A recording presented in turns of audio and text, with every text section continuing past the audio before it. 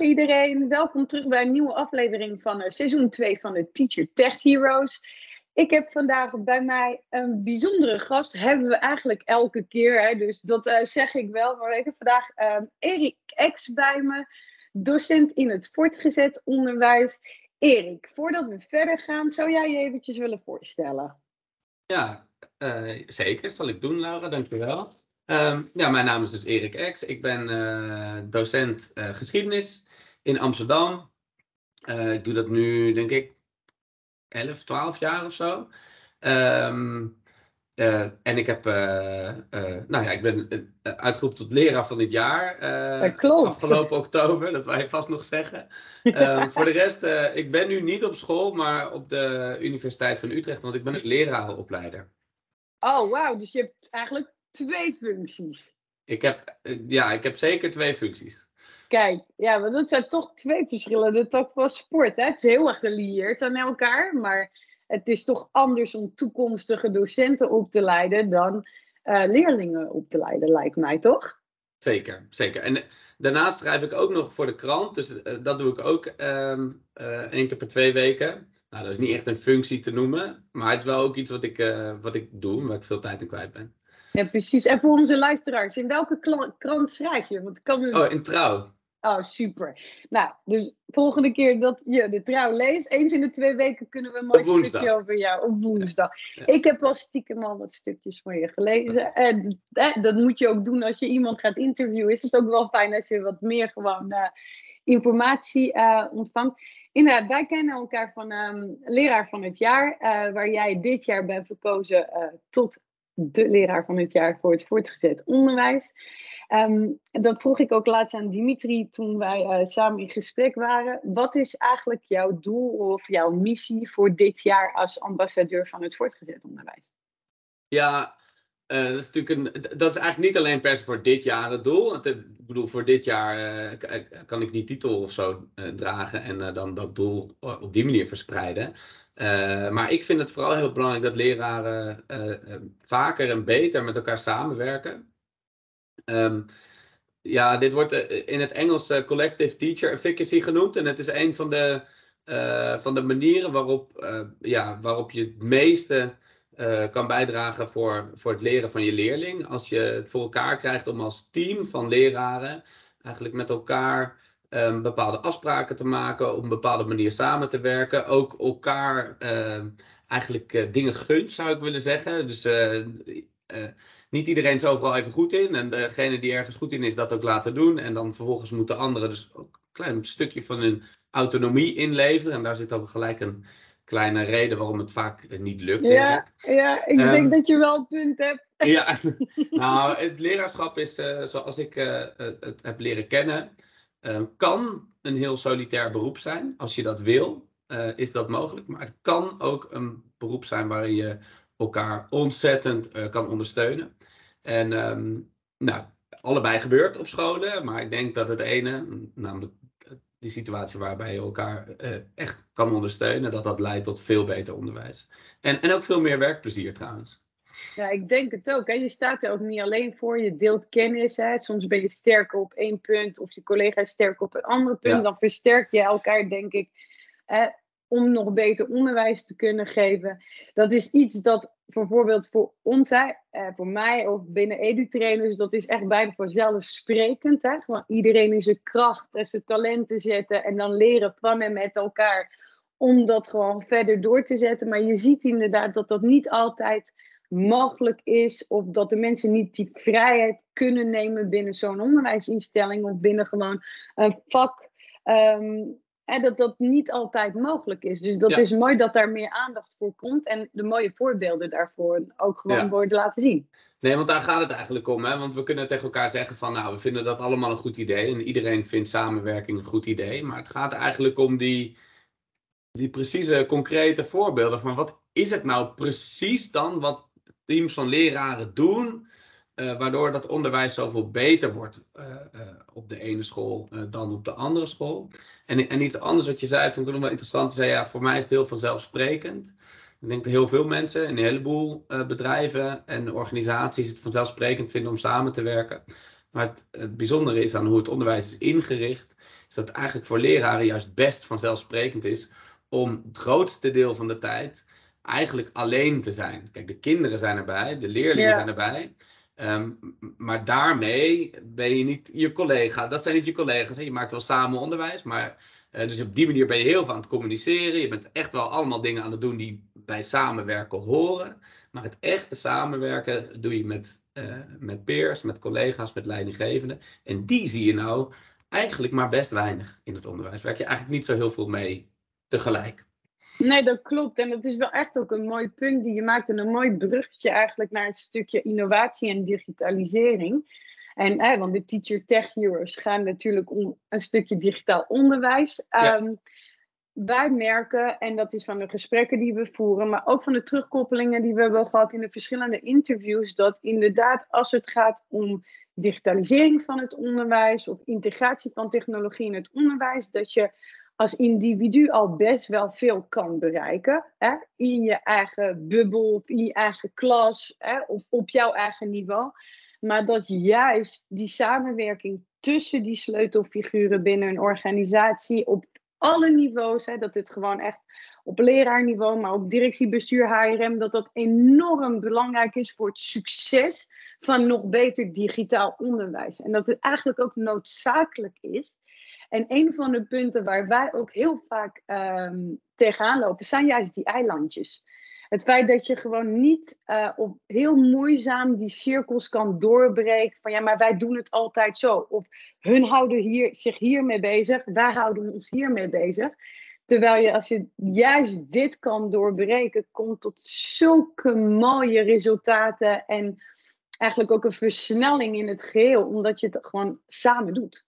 Ja, maar ja, dat soort dingen vergen dus, uh, ja, je moet, zoals je al zei, je moet iets uh, doorbreken. En dat vergt vaak ja, dingen als moed, leiderschap, um, ook uh, voorbeelden, mensen die dat al eerder gedaan hebben. Um, nou ja, het, en er zijn dus allerlei echt wel belemmerende maat, regelingen in het onderwijs, belemmerende zaken in ja. het onderwijs. Um, maar ik denk aan de andere kant dat we ook al een heleboel goede voorbeelden hebben waar het wel is gelukt. Hè? Dus laat dat uh, duidelijk zijn. Nou, ik denk dat zeker, want anders heeft het ook geen bestaansrecht. Hè? Zeg ik altijd. Het moet altijd klein starten. En ik ben ook zeker dat we rond ons hele mooie land gewoon heel veel van deze prachtige voorbeelden hebben. Ik hoop echt ook als mensen dit zien, dit luisteren, denken van ja, maar wij doen dat wel. Of oh ja, dat is wel iets wat we willen. Dus dat je ze aanzet en dat je ze gewoon daarin kan meenemen. Ja.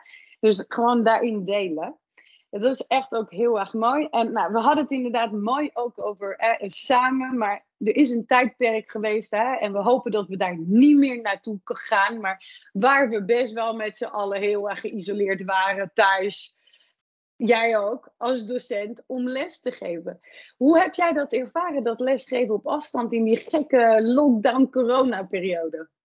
Nou ja, kijk, het, is, het is niet waar ik leraar voor ben geworden. Dus dat, dat mogen duidelijk zijn. Uh, je, je zit achter het scherm um, uh, op een hele andere manier te werken dan je eigenlijk zou willen. Ehm, ik moet zeggen, het maakte ook het een en ander los van je. Je moet toch weer opnieuw nadenken over hoe ga je je onderwijs inrichten. je weet gewoon van tevoren dat het eigenlijk niet zo leerzaam is als, ehm, als echt face-to-face. Um, en dat zit hem vooral in leerlingen die dat eigenlijk het meeste nodig hebben. Dus uh, leerlingen die snel afgeleid raken. Uh, ja, daar kan je niet zomaar eventjes uh, 20 minuten, 25 minuten via een scherm een verhaal houden. Terwijl het eigenlijk in de klas wel best aardig lukt. Met mijn vak en met mijn, met mijn populatie leerlingen gaat het eigenlijk prima. Dus dan moet je heroverwegen hoe je je onderwijs geeft. Dat is, vond ik op zich wel interessant vanuit mezelf. Ja. Um, uh, dus ik vond het dan, op die manier heb ik het mezelf ook een beetje, ja, heb ik het voor mezelf ook wat draaglijker gemaakt. Ik dacht, oh ja, oké, okay, nou dan moet ik even extra goed gaan nadenken over welke leerdoelen nu wel, welke leerdoelen nu niet. Welke leerdoelen kan ik digitaal behalen, op welke manier, hoe kan ik leerlingen uh, die extra hulp nodig hebben, dat ook geven. Um, en dat, dat vond ik op zich wel interessant eraan. Maar het was, uh, ja, nou, wat ik al zei, het was niet de reden. hiervoor ben ik geen leraar geworden. nee, precies. Ik kan me ook voorstellen dat je heel erg blij was om ze terug te zien, gewoon in ja, het klaslokaal, gewoon op school. Maar je, je noemt een punt die ik wel interessant vind. Want je geeft aan, ik heb echt moeten kijken hoe ik dingen anders moest gaan doen. Dus eigenlijk je didactiek. Ja, zeker. Ja, je didactiek kan gewoon niet hetzelfde zijn. Dat is, dat is en waar, eigenlijk heel eenvoudig. Ja, precies. Maar hoe heb je dat gedaan? Waar heb je die inspiratie opgehaald? Hoe heb je gewoon ja, dat ingericht? Want ik bedoel, iedereen stond in diezelfde situatie en stond eigenlijk tegen hetzelfde probleem aan te hikken. Maar hoe heb je dat gedaan? Nou, hoe ik het heb gedaan is, ik heb, ik heb eigenlijk niet heel erg, uh, ben niet heel erg diep ingedoken op hoe digitaal uh, leren werkt, maar vooral gekeken naar sowieso naar de essentie van, van hoe leren werkt. Hè? Dus um, uh, kijk, als je ziet dat leerlingen ongemotiveerd zijn omdat ze achter een scherm zitten, uh, dan moet je, moet je gaan kijken naar motivatietheorie. Naar hoe raken leerlingen wel gemotiveerd. En waar het normaal zo is dat, kijk, um, in principe uh, houden leerlingen, net zoals alle, alle mensen, uh, vinden verbinding heel belangrijk. Hè? Dus als je gewoon met, met, met iemand op straat uh, of met iemand in een klaslokaal een praatje maakt, dan ben je gewoon geïnteresseerd in de ander, omdat je denkt, hé, hey, uh, in ieder geval, dat geldt voor de meeste mensen zo. Ja, ja, op een gegeven moment houdt die interesse ook op natuurlijk. Dat snap ik ook allemaal wel. Dat ook wel, ja. Weer geïnteresseerd in iets anders. Maar over het algemeen, als mensen gewoon met elkaar een gesprek voeren, dan luisteren ze eigenlijk best wel naar elkaar, denk ik. Nou, en als je dan zo'n scherm ertussen hebt, wat ervoor zorgt dat die echt die interactie, uh, die ook heel vaak non-verbaal is, en uh, ja, dat die eigenlijk heel erg verstoord wordt, dan moet je over andere dingen gaan nadenken, hoe je leerlingen motiveert. Nou, um, um, dan zijn er ook dingen tussen die ik eigenlijk in de les nooit zou doen, waarvan ik zou denken, nou, het kost me te veel tijd, te veel moeite en eigenlijk is het niet nodig. Um, maar wat ik bijvoorbeeld ben gaan doen, dus ik ben met leerlingen uh, ben ik een soort. Uh, ja, ze moesten eigenlijk meer huiswerk maken door, door die hele corona-periode. Um, want ja, ze waren thuis en dat was toch wel. De, de, hele tijd met mij in een videogesprek werkte ook niet. Dus ze gingen eigenlijk meer uh, werken aan opdrachtjes die ik ze gaf. En um, toen ging ik klassen tegen elkaar laten strijden. Um, wie allemaal het huiswerk in orde had. Dus nou, daar hoefde je verder niet beter of slimmer voor te zijn. Dus die klas die ging elkaar ook helpen met ervoor zorgen van, hey, heb je het al ingeleverd? Of, uh, want leerlingen willen ook best hun huiswerk inleveren, alleen ze vergeten het vaak. Het is niet goed gepland. Ze hebben andere dingen die belangrijker zijn, maar ze zijn niet te onwillig om het te doen. Zeker niet als het gewoon werk is wat ze wel kunnen. Ja. Um, en had ik ze een, een hele grote uh, taart beloofd van de klas die dit zou winnen. Fantastisch. dat was wel leuk. Op die manier uh, kon je toch een beetje motiveren. En iets anders wat ik had gedaan is, ik had uh, via onze digitale leeromgeving, um, wij gebruiken Moodle, dus daar kan je echt ontzettend veel mee. Uh, dus daar heb ik quizjes gemaakt. En die quizjes, als ze daar een, daar konden ze zo vaak doen als ze wilden. Dus dat is, dat is een erg belangrijk concept. Dus, ehm, en dan konden ze een 8 of hoger halen. En dan kwamen telkens allerlei verschillende vragen langs. Dus ik had een vragenbank van 150 vragen. Uh, en daar kwamen er dan telkens uh, eh, 15 van langs. En zo oefenden ze toch die. Um, ja, bij geschiedenis zijn, zijn bepaalde begrippen bijvoorbeeld best belangrijk. Uh, een begrip als, weet ik veel, democratie of cultuur, politiek. ja, ze moeten gewoon weten wanneer de middeleeuwen begon, ongeveer, om daar een beeld van te hebben. Of in ieder geval wat de volgorde is van de Franse Revolutie en de Um, uh, en de verlichting en het humanisme en zo. Dat zijn gewoon dingen die die leerlingen gewoon automa automatisch moeten weten om het verhaal te kunnen volgen. Ja. Nou, dus dat soort uh, quizjes liet ik doen. En dan als uh, leerlingen, uh, als leerlingen dan een 8 of hoger hadden, dan kregen ze van mij een sticker.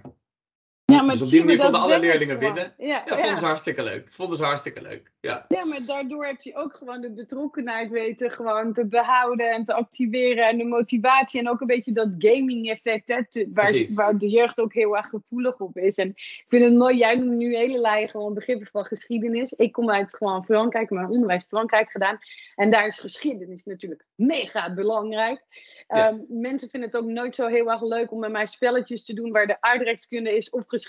Want het is er zo in gewoon gestampt, zeg maar, in mijn schooljaren. Dat hij zegt, ja, maar het is niet zo leuk met jou te spelen. Nou, want jij weet die, dat soort dingen, alsof ik het ook niet meer heb gewoon kunnen weghalen. Maar dat zijn wel die, die kernbegrippen die je echt wel nodig hebt om daarna gewoon verder te kunnen. Dus dat Ja. is echt heel erg mooi. En, maar je bent ook gewoon volgens mij wat anders gaan doen. Hè? Want je, je, je wilde gewoon goede lesmateriaal, goede Ja. lessen maken. Ehm, ik kan me ook voorstellen dat alleen dat zenden voor je scherm, hè, wat je net zei, dat is ook gewoon niet altijd even gewoon efficiënt. Wat, wat heb jij daarin gedaan? Nou, ik ben ook, ehm, eh, we hadden het al eerder over samenwerken met collega's. Ik ben op een gegeven moment met, met een collega ben gaan zeggen, oké, weet je wat, ik doe de ene les en dan doe jij de andere les. Ehm, en dan maken we daar video's bij. En toen ik dat eenmaal ging doen, toen dacht ik, ja, maar dit is eigenlijk, boah, voor mijn leerlingen was het nog wel te doen. Het was best wel veel werk, maar ik dacht, het is nog helemaal niet echt goed. En het kan allemaal veel beter. Ehm, want je- wat je allemaal online kan vinden, dan kan je, nou ja, je kan zien hoeveel beter het kan als je kijkt naar de video's van nou, bijvoorbeeld eh, NOS op 3 video's. Ja. Dat zijn echt super goede explainers. Het enige probleem is, die explainen nou net niet mijn lesstof. Ja, soms wel een stuk ervan. maar eh, eh, eh, ik, heb die, ik heb niet 10 NOS op 3 video's. Nee. ehm, eh, van, de, van de renaissance tot aan de Tweede Wereldoorlog of zo. Hè? Dus ja, daar heb je net niks aan. En toen dacht ik, nou, dit, dit- ik wil iets dergelijks ook zelf doen. En, ehm, maar ik wist eigenlijk toen al dat dit, ik wist natuurlijk niet hoe lang de coronaperiode ging lopen, maar ik wist al wel van ja, dit kost gewoon heel veel tijd, heel veel moeite. Maar ik dacht toch, ik wil het proberen. Ehm, dus eh, we zijn begonnen, we hebben daar wat subsidie voor aangevraagd en eh, eh, met een team van een cameraman en een filmmaker, die natuurlijk ook in coronaperiode Geen werk eigenlijk hadden. geen ja. werk hadden. Die kregen, hoe heet dat ook eh, geld van de overheid gewoon om thuis Ja. op de bank te zitten op dat moment. Ja. Ehm, dus ik ben met hun dit gaan maken. Ehm, en eigenlijk komen er nu pas de eerste resultaten van. Dat zie je maar weer hoe hard dat hoe hard Ja, maar het vraagt ook wel tijd. En het, is Ja. ook, het wordt ondergeschat hè, van hoe eh, nauwkeurig je moet zijn. En het is inderdaad het component van de inhoud hè, van je les. Ja. Er zijn talloze leraren die lessen hebben opgenomen om een begrip uit te leggen. Of een stukje gewoon van hun vak gewoon te, te kunnen geven. Maar er is een heel groot verschil tussen inderdaad wat je zegt, hè, dat eventjes snel doen omdat je iets gewoon eh, wil Ja. neerzetten. Of dat echt op een professionele manier te kunnen doen. Dat het ook echt gewoon de andere elementen die je andere eh, zintuigen ook gaan opwekken, hè, gaan meenemen. Dus dat, dat is ook zeker dat. Hè. We- wij zien het ook gewoon, we, we maken veel video's, maar het is heel erg altijd kijken van eh, licht, stem, geluid, eh, muziek. Het, het zijn zoveel meer componenten dan de boodschap die je overbrengt.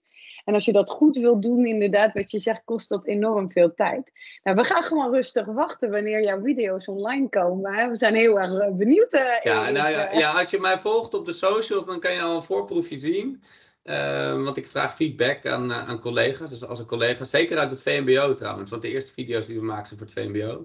Als die meekijken, dan kunnen die al eh, ja, via mijn LinkedIn of via mijn Twitter kunnen ze het al soort voorproefje zien. Maar de, de, de echte video's, zeg maar, er zes op een gegeven moment, die komen natuurlijk tegelijk uit. Nou, wel super weer. Hè? Gewoon samen voor en door het onderwijs. Echt, hè? Het komt echt terug in alles wat je doet. Ik vind dat echt wel heel erg mooi om, eh, om te horen.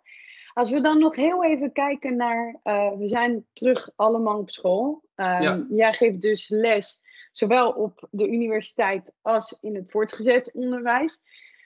Wat merk jij nu van, ik wil niet zeggen overblijfsel, maar toch wel van die digitalisering in die coronatijd? En maak je daar nog veel gebruik nu van, terwijl je gewoon weer gewoon hè, fysieke contact hebt, gewoon in je klaslokaal? Ehm, wat zie jij?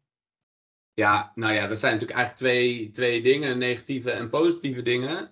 Ehm, eh, kijk, aan het positieve, dat nadenken over hoe je onderwijs moet inrichten, bijvoorbeeld die, die uh, quizjes maken. Um, ook die video's trouwens, die ik, uh, want ik heb eerst ook gewoon andere video's gemaakt. Uh, maar die kan ik nog steeds hergebruiken. Die quizjes kan ik ook zo, kan ik weer erin gooien. Kan ik tegen leerlingen zeggen, um, ga maar thuis oefenen. dat systeem met die, met die stickers. Uh, vinden leerlingen echt, echt heel erg leuk. Want ze kunnen altijd allemaal een sticker winnen. De beste en de slechtste leerling. En de beste kunnen tegen elkaar strijden om de beste tijd. Dus die vinden dat ook weer leuk. Nou, maar, ja, nou ja, dat is heel, hartstikke mooi. En ik heb ze ook, want ik deed dat in de onderbouw. Maar ik heb ook bovenbouwleerlingen. Die zagen die onderbouwleerling met die stickers. Zeggen, waarom krijgen we eigenlijk geen stickers? Ja, precies. Zo heb je snowboy. Ik dacht dat jullie dat niet leuk vonden. Ze zeggen, hartstikke leuk. Ik zei, prima. Maar um, uh, nou, dat is natuurlijk één. Dat zijn positieve dingen op die manier. Um, uh, nadenken over de basis van je onderwijs. Natuurlijk heb je ook wel echt negatieve dingen. Je merkt dat er echt. Een, er zijn natuurlijk veel meer negatieve dingen. Je merkt dat er een hele grote groep leerlingen. Uh, ja, gewoon gewend is geraakt om in bed achter de telefoon. achter hun laptop urenlang te zitten. En dat, ja. dat was al aan de gang. Um, maar dat is zeker versterkt door corona. Nou, dat zijn natuurlijk dingen waar ik, niet alleen ik, maar ik denk een heleboel leraren zich ontzettend zorgen over maken. Nou ja, het is echt een heel groot probleem ook, hè? De mentale, mentale welzijn van onze jeugd. Hè? Ik bedoel, uh, er wordt gelukkig over gesproken. Ja. Maar het is echt een hele grote negatieve effect van deze periode. Ja. Nee, dat wordt steeds duidelijker ook, dat uh, het mentale welzijn van, van de leerlingen echt aan het verslechteren is. En ik denk dat dat overigens meerdere oorzaken heeft. Dat het niet alleen aan corona ligt, uh, maar ook nou ja, aan hoe social media en uh, hoe die telefoons uh, hun, ja, hun leven zijn gaan overheersen. Ja. Um, en ik denk dat daarom leraren, leraren hebben daar een hele belangrijke rol om, om echt voor te leven hoe we in deze nieuwe digitale wereld um, die steeds digitaler wordt, hoe we daar toch gelukkig in kunnen zijn. Want ja. dat is toch wel wat we willen. Um, en ik, ja, kijk, ik kan kinderen niet vertellen hoe je gelukkig moet zijn. Maar ik, eh, dat, zo werkt het natuurlijk niet. Maar ik kan bijvoorbeeld wel kinderen um, uh, de ervaring geven om eens 20 minuten achter elkaar in stilte, in alle rust, bijvoorbeeld een mooie tekst te lezen.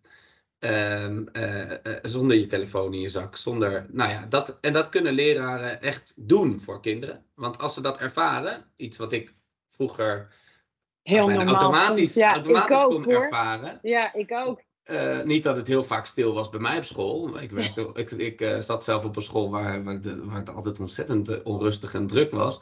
Maar we waren tenminste niet de hele dag ook nog afgeleid, omdat er, ja, omdat ik, ik in mijn zak uh, voelde trillen. Uh, dat er uh, misschien een meisje wat ik leuk vond mijn foto had geliked op. Nou ja, je kan je niks Ja. afleidender dan dat voorstellen eigenlijk. Ja, maar het is ook een non-stop, continu gewoon prikkels die gewoon binnenkomen. en mijn precies. kinderen zijn wat jonger, maar je merkt al dat het daar ook gewoon al begint. Hè? Dat ze gewoon, hè, dan horen ze een tablet, zeker mijn dochter, die is bijna negen. En dan Ja. hebben ze gewoon een groepje eh, tussen de buurtmeisjes. En dan zijn we aan tafel en staat het geluid van iPad aan en dan komt een iMessage. En die ene wil ze dan gelijk opzetten. En wij zijn daar heel erg streng in. Van, Nee, we zijn aan tafel, we zijn nu aan de Ja, dus het is ook gewoon een taak die natuurlijk gewoon breder is. Maar er zijn voor, voor de jeugd zijn er zoveel meer prikkels. En die aandachtspan is gewoon daardoor ook gewoon helemaal verstoord.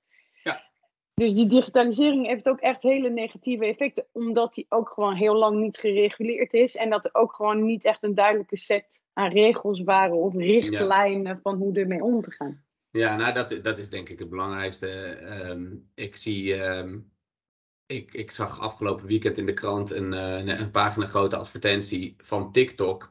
Waarin stond: TikTok is voor 13 plus. Eh, dus die proberen nu heel snel te, te zeggen van, oh wacht even, dit was nooit de bedoeling. Eh, maar TikTok is natuurlijk helemaal niet gemarket voor, 6, voor 13 plus. TikTok is voor, ja, gewoon voor, voor kinderen. Ehm, en misschien ook voor volwassenen, maar in ieder geval, kinderen vinden het fantastisch. Ja, En, en eh, het is zo gemaakt dat het je de hele tijd nieuwe informatie, nieuwe kortstondige informatie geeft. Nou ja, goed. Ehm, en, en ik denk dat leraren hier gewoon een ontzettend belangrijke rol in hebben. Want eh, heel veel leraren die ik de afgelopen jaren hebben gesproken, hadden dit al gezien voordat er allemaal onderzoeken en voordat er hè, die resultaten die er nu komen over de mentale weerbaarheid van leerlingen, uh, dat zagen mensen al jaren geleden. En die zeiden al, oh, dit klopt niet. Die kinderen die praten niet meer met elkaar aan de gang, maar die zitten op een schermpje te kijken. Daar gaat iets mis. Um, en dus eigenlijk, wat voor mij ook digitale geletterdheid betekent, is, is uh, niet alleen om kunnen gaan nou ja, hè, om kunnen gaan met computers of met, met digitale middelen. Maar ook echt weten wanneer je moet zeggen: oké, de digitale middelen moeten niet alleen. Want eh, heel veel leraren zeggen: als ik het niet zie, dan, eh, dan is het er niet. Maar ik denk dat je daar nog een stapje verder over moet nadenken. Dat je eigenlijk ook moet denken: volgens mij moet je bijvoorbeeld je telefoon ook niet in je zak hebben. En volgens mij moet je bijvoorbeeld ook kinderen goed uitleggen als je wil dat ze huiswerk maken, daar ben ik eigenlijk niet zo heel erg van huiswerk, maar als je wil dat ze huiswerk maken, yeah. moet je op een bepaalde manier heel goed uitleggen, oké, welke stapjes moet je dan ondernemen? Stapjes die wij misschien allemaal heel erg gebruikelijk en logisch vonden, maar die zij eigenlijk ehm, in deze wereld niet zo gebruikelijk vinden. Ja, ja, en het is ook de voorbeelden die ze natuurlijk krijgen. Hè? Dat, uh, dat ze zien, wij zijn opgevoed met een generatie die eigenlijk gewoon nog wegliep gewoon van huis zonder telefoon. En dat was prima, weet je. En hun worden zou ik nu nooit meer doen. Nee, ik ook niet. Ik zou helemaal gewoon in paniek raken. Ja. ik helemaal... Mijn man doet het nog wel. Ik vind dat echt super knap. maar um, ja, het is wel echt gewoon een hele grote bewustwording. En dat is wel iets dat. Het is niet alleen een probleem die op school is. Het is echt een probleem van onze maatschappij, vind ik ook. Hè. Het is dus breder. Dus ik ben echt ook voor de invoering van digitale geletterdheid in het curriculum van onze kinderen. Ik vind dat ook echt belangrijk. Maar ik vind dat er ook gewoon een essentiële taak is om goed te kijken naar het lesgevend personeel. En ze daarin te ondersteunen en te begeleiden van. Oké, maar digitale geletterdheid is dus die vier pilaren, is die onderdelen. Betekent ook dat dat gewoon hè, dat effect heeft op onze jeugd. Dat we daar gewoon op een andere manier mee moeten omgaan. En dat je niet zomaar gewoon iedereen aan zijn goed verstand kan achterlaten en zegt van nou jullie lossen het wel op in de klas, weet je. Dus dat is gewoon heel, het, het is een heel complex onderwerp. Um, uh, die, die heel veel eigenlijk gewoon een beetje tentakels heeft overal en die niet zomaar op te lossen is. Nee. Dus het is ook iets waar we, denk ik, uren over kunnen spreken. Maar ik vind hem wel echt mooi dat je die uh, gewoon aankaart. Want dat is ook wel echt, ook als we het hebben over digitaal onderwijs, is het ook dit. Die digitale belevenis van onze jeugd gewoon tegenwoordig en uh, wat voor effecten dat heeft. Ja.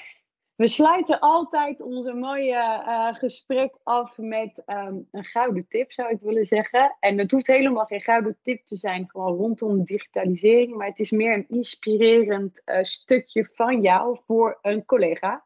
En daar ben je wel van, want jij doet dingen samen. Dat noemde je echt wel een paar keren vandaag.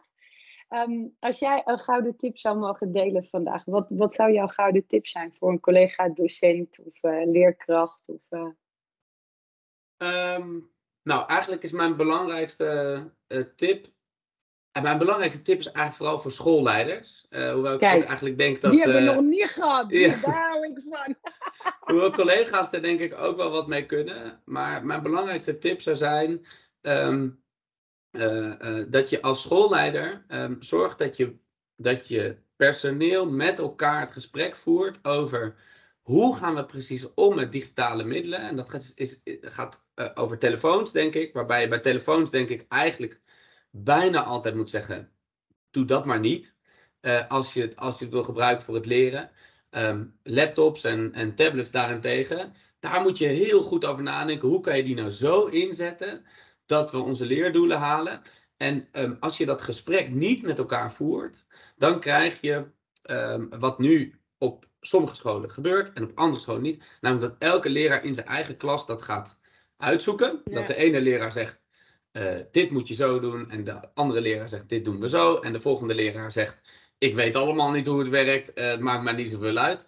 En um, uh, dat is super onduidelijk voor leerlingen. Dus daar leren leerlingen niet van hoe ze moeten omgaan met ja, dat apparaat wat mijn collega columnist uh, Tom van Haperen zegt: het, het, is de, het, is de, het is de duivel en de engel tegelijkertijd. En je kan er fantastische dingen mee. Ze kunnen uh, tijdens je les fantastische bronnen opzoeken en hele mooie ehm, hè, die ik ook graag gebruik, quizzen doen en dingen, een antwoord op het bord zetten, met elkaar vergelijken en zo. Dat is allemaal prachtig. Maar ze kunnen tegelijkertijd ook, het is nu natuurlijk tijd van het WK, maar ze kunnen ook online aan het gokken zijn in jouw les. Ze kunnen ook nieuwe schoenen aan het kopen zijn in jouw les.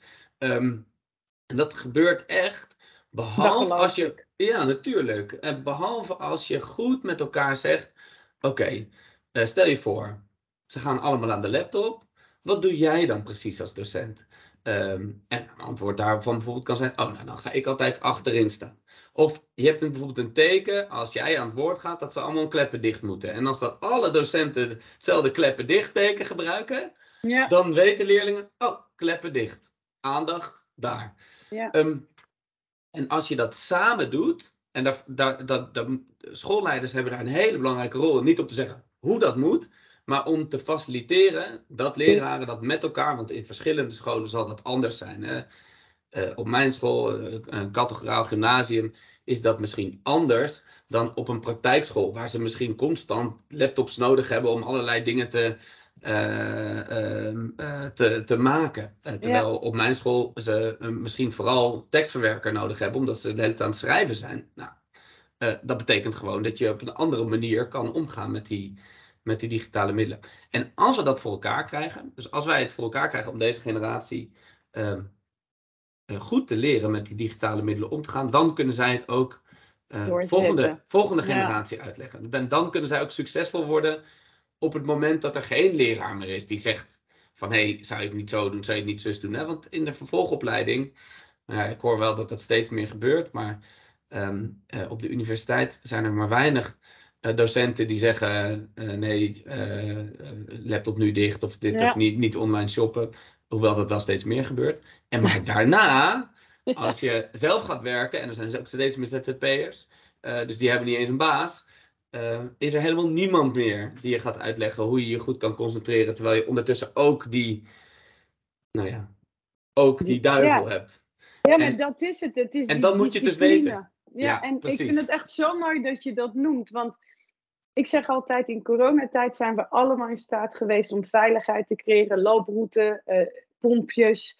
Weet je, er waren zulke duidelijke afspraken. En dat kwam gewoon vanuit ook hè, het leiderschap, maar dat kwam ook met elkaar. Van wat doen we, hoe doen we dat? En op een of andere manier zijn we in een soort crisissituatie van corona wel in staat geweest om dat heel duidelijk te maken. En werkte dat heel erg goed. Maar als we dan praten over die digitalisering en die digitale middelen, dan ineens is er kronkende kabel. Ik weet niet wat het is, maar ineens, dat werkt dan niet. En dat is het, het eerste stap is precies dat. Als wij dat nu aanpakken met z'n allen. En als we daar gewoon goede richtlijnen, goede kaders in kunnen zetten en dat gesprek voeren met elkaar, dan kunnen we deze generatie al enorm helpen. Maar die generatie gaat de volgende generatie helpen. En zo gaat dat altijd.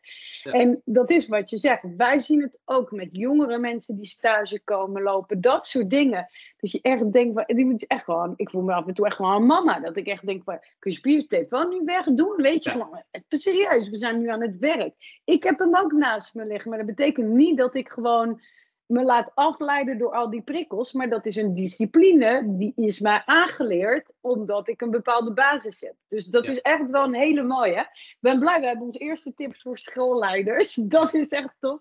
Erik, ik wil je onwijs bedanken voor dit gesprek. We kijken naar uit naar je video's. We zullen ook eventjes jouw social media delen. Gewoon in de linkjes van de podcast en de video. Zodat mensen jou kunnen volgen. Heel veel plezier uh, nog met lesgeven. En ik hoop dat we nog hele mooie verhalen van je mogen zien en horen. Dankjewel. Dankjewel. Fijne dag nog. Hoi. Doei.